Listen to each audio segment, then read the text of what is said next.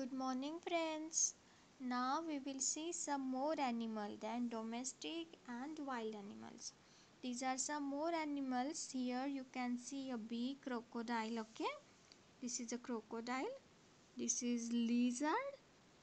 Okay. You must have seen at your home on wall. Right. This is frog. Okay. Usually you can find this on near pond or in any uh, mud. Okay you can see frog.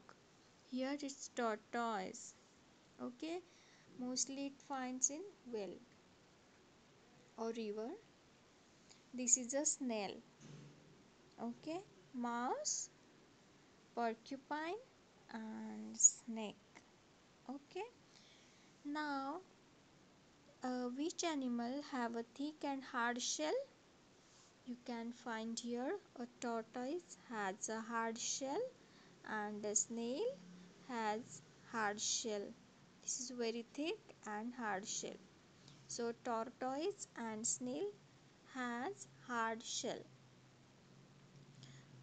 यांच्या पाठीवर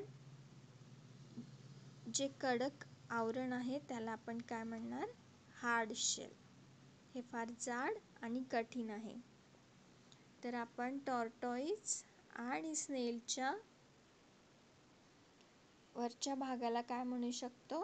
hard sales क्या कहेंगे इस कठीण part portion को tortoise के hard shell okay and thick shell now which animal has sharp quills on its body?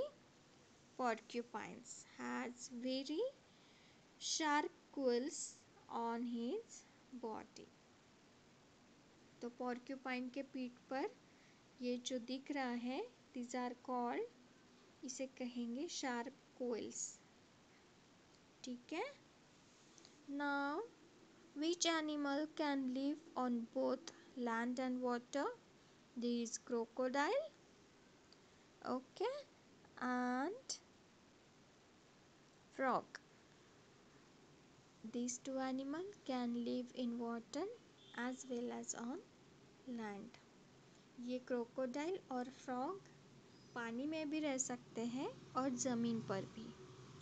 ठीक आहे ही? मगर आणि हा फ्रॉग जमिनीवर पण राहू शकतो आणि पाण्यात पण. Okay now which animal live in holes snake mice and moles the snake mice moles can live in holes. Okay? See you soon. Bye bye